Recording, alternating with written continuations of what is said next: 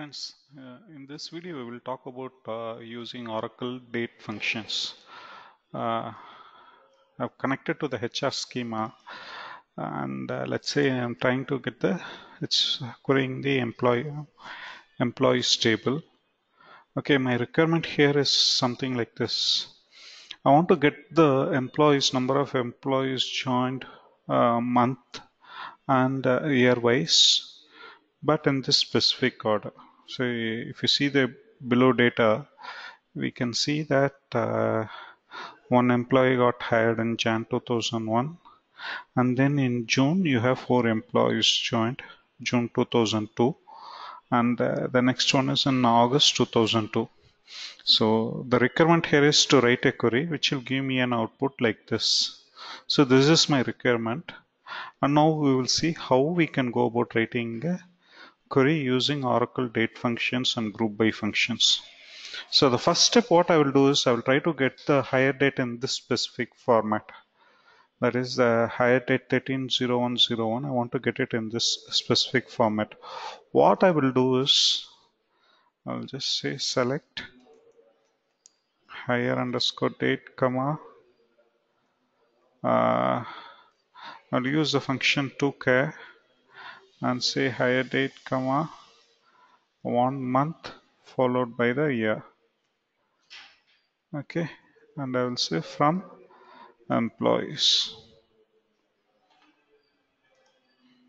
So now you can see I got the data in the specific format right?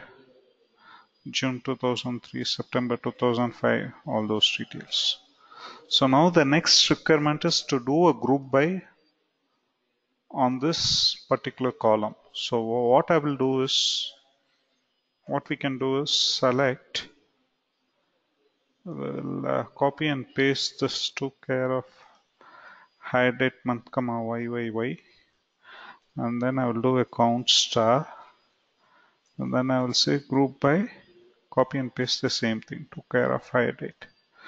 So now if we run this query, okay, so it should be from employees table that is missing. So we'll do that from employees. we press this from employees group by. Yep. Now I got it in this format, right? Count and everything. I want to change the header. So I will say month and year. Uh, column alias I'm changing. Okay so here for this is number of employees.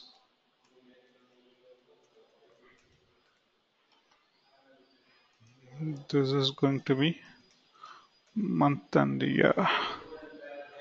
Yeah so this is the next step.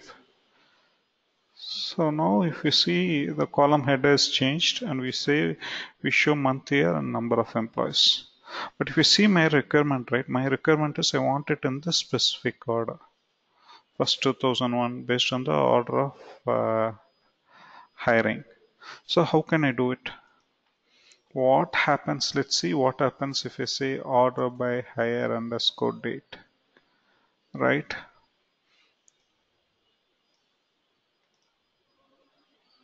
Not a group by expression. So why you get this error message not a group by expression is because whenever you are trying to do order by the order by column should be present in your select list. Here hire date is not present in the select list. So what we can do is uh, let me try and copy and paste this order by to date of hire date. Try to do it. Okay. Oh so now if you see you get ordered by Oracle. Since we said to char Oracle has converted it to a character field and the alphabetical sorting it does A, B, C, D, December and things like that.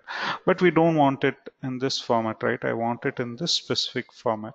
Jan 2001, June 2002, August 2002. So there is a slight tweak we can do. So what we can do is I'll copy and paste the same SQL again. So just to show you step by step but before doing order by, I can apply a function in the order by. So what I will do is I'll just say order by to date, and then I'll give convert this to char to date back to date. with this same specific format month y y y right so let me run this query so now you will see sorted correctly like how we want to see Jan June 2002 Feb 2005 up to April 2008 hmm?